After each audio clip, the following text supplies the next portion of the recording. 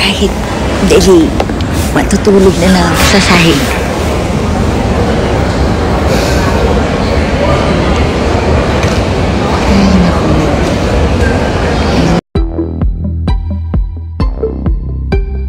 Ay ay de las Alas nakitang nakahiga sa sahig ng Charlotte International Airport sa North Carolina sa Amerika. Isa ang komedyanteng si Ay ay de las Alas sa naapektuhan ng global online glitch kung saan nagdulot ito ng technical issues at operational disruptions sa buong mundo. Kwento ni Ay, nang dahil sa software global outage na to humiga na lang ako sa sahig sa Charlotte International Airport, salamat at may dala akong kumot at unan, salamat sa Diyos kasama ko aking baby girl Sofia de las Alas, siya ang nag-asikaso ng flight and luggages namin, teki-teki siya. Sabi ko sa kanya kung wala ka iiyak na lang ako, moral lessons sa pangyayari sa aking sitwasyon, huwag magbiyahe mag-isa lalo na pag di ka naman magaling sa mga computer online-online. Huwag ilagay sa maleta ang food ko, hindi sa carry-on ko nakalagay, inilagay ko sa check-in syunga-syunga ko Super Tom Jones ako, at wag mawawala ang kumot at unan, salamat Lord sana makarating na ako sa North Carolina. Huwag tayong susuko, by land nandyan na kami after 4 hours. Salamat sinundo na lang kami ni Glenn. Baka kasi makancel hindi na naman kami makarating sa North Carolina. Nakakalaki ang nangyayari sa mundo. Sa huli, masayang ibinalita ni Ai na nakarating na sila sa event na kanyang pupuntahan.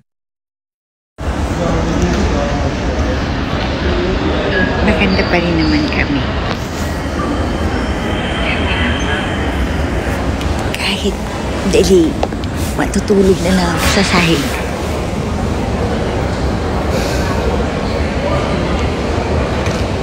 Ay, naku. Super, super. Edges, edges.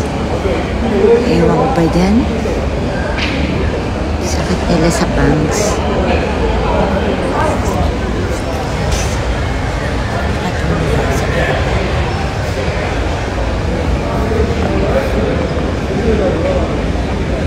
Yun lang. Na akong energy.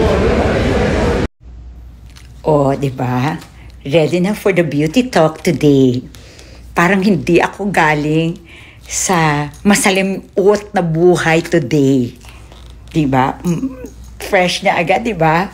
Habang kanina, nasaan? Nasa on the floor sa anis. Nakakalurky. Ngayon, ang lola mo fresh. Of course. MC Aesthetics yan. Di ba? Mm. Bongga ka. Let's go para sa ating beauty party. Yan lang.